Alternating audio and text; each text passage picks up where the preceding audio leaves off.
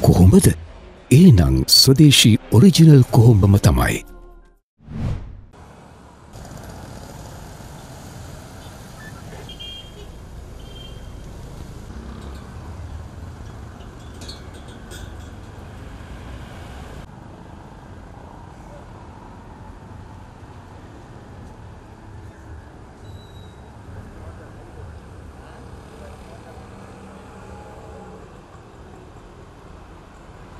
PickMe flash නිසා දැන් මගේ බිස්නස් එකම එක්ස්ප්‍රෙස්.